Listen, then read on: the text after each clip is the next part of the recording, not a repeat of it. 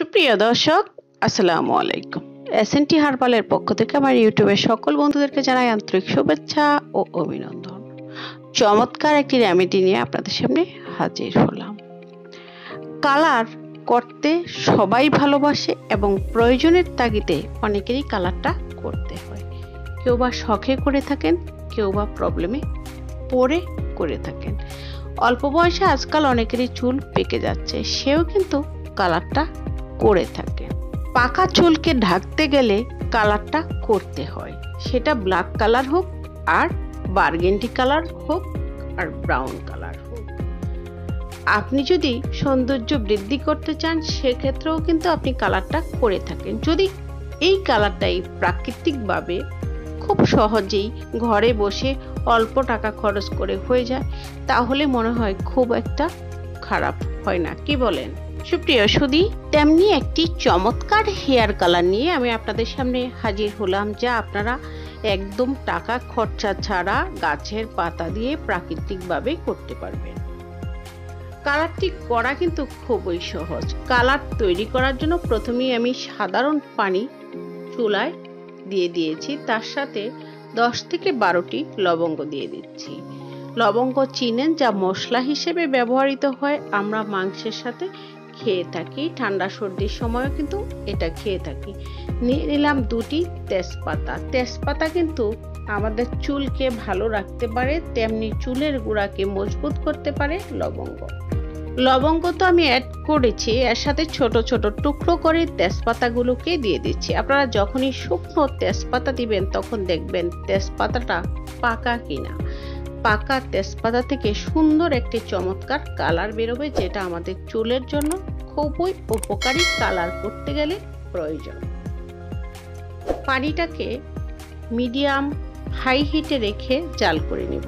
যতটুকু পানি দিয়েছি, কালারটা বের হতে প্রায় পনেরো থেকে বিশ মিনিট লাগবে এবং ফিফটি পার্সেন্ট পানি কমে যাবে।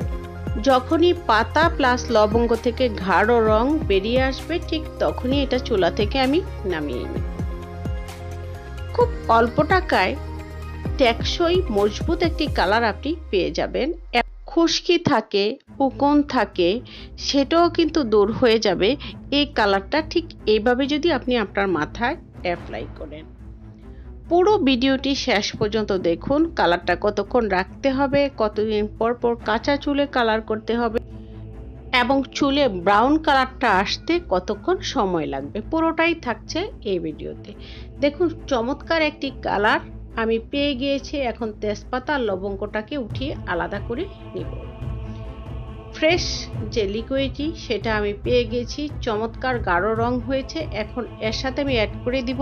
কফি পাউডার আপনারা অবশ্যই ব্ল্যাক কপিটা নেবেন, এক চা চামচ ব্ল্যাক কপি এর সাথে অ্যাড করে দিবেন। যদি আপনার মনে হয় আপনার চুলের গ্রোথ অনেক বেশি পরিমাণে, আপনার চুল অনেক বেশি পরিমাণে আছে, সেক্ষেত্রে আপনি দুই চা চামচ কপি পাউডার এর সাথে অ্যাড করে দিতে পারেন।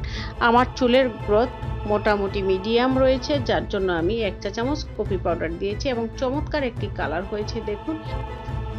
আপনারা যদি প্রতিদিন ঠিক এইভাবে কালারটা করে সাদা চুলে অ্যাপ্লাই করেন, তাও দেখবেন যে এক মাসের মধ্যে সুন্দর একটি কালার আপনার চুলে চলে এসছে। আর যদি মেহেদি পাতা দেওয়া যায় তার সাথে, মেহেদি পাতার যে পেস্ট আছে বেটে, পাটায় মিহি করে বেটে পেস্ট তৈরি করে যদি এর সাথে অ্যাড করা যায়, তাহলে আপনি চমৎকার একটি প্রাকৃতিক কালার পেয়ে যাবেন।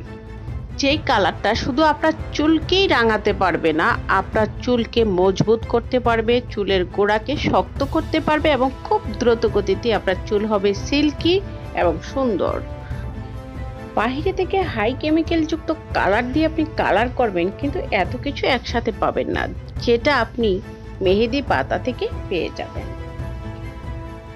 আমি পুরো যে লিকুইডটি আছে, সেটাকে কুসুম গরম অবস্থায় একটি পাত্রে নিয়ে নিলাম।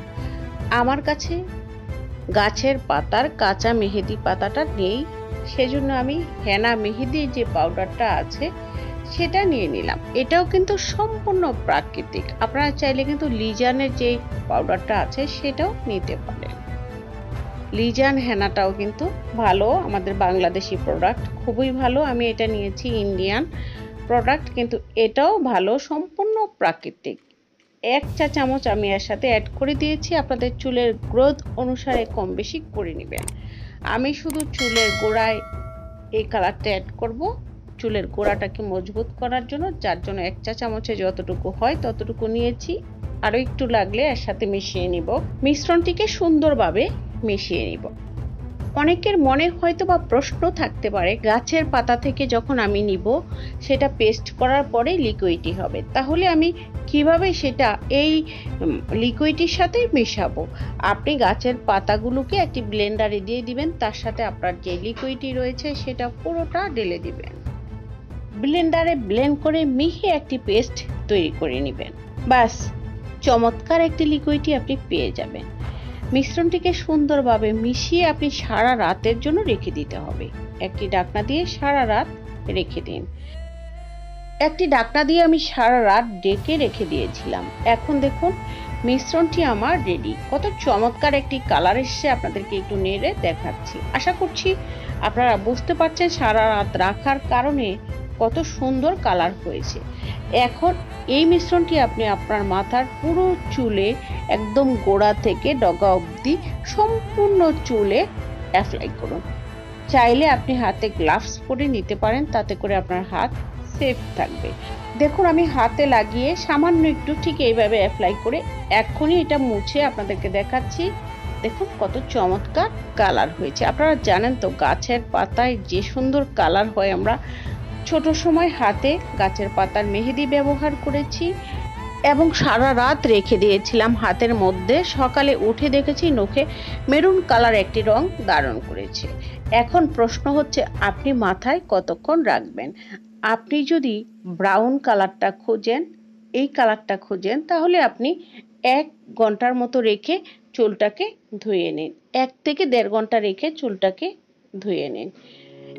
আপনি যদি ব্রাউন কালার না করে বার্গেন্ডি কালারটা করতে চান, অর্থাৎ মেহেদি কালারের পারফেক্ট কালারটা করতে চান, ঠিক স্কিনে আপনি যে কালারটা লক্ষ্য করেছেন, এই কালারটা যদি আপনি করতে চান, সেক্ষেত্রে আপনার চুলকে, পুরো চুলে আপনি এই মিশ্রণটি অ্যাপ্লাই করে মিনিমাম দুই ঘণ্টা রেখে দিতে হবে। দেখুন, আমি আমার চুলে দুই ঘণ্টার মতো রেখেছিলাম প্রথমে যখন আপনি অ্যাপ্লাই করবেন, পাকা চুলে চমৎকার একটি কালার প্রথমবার অ্যাপ্লাই চলে আসবে।